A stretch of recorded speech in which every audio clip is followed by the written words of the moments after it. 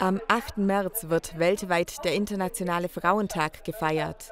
Auch auf dem Reutlinger Marktplatz erinnerten der Verdi Bezirksfrauenrat, die Verdi Jugend, Girls e.V., die DGB Reutlingen und Rosa unter dem Motto Frauenrechte sind Menschenrechte an die Rechte der Frauen.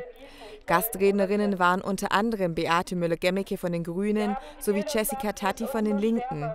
Laut dem Bundesministerium für Familie, Senioren, Frauen und Jugend ist jede dritte Frau einmal in ihrem Leben Opfer von Gewalt. Allerdings sei auch bereits viel erreicht worden, wie zum Beispiel die Selbstverständlichkeit, einen eigenen Beruf auszuführen.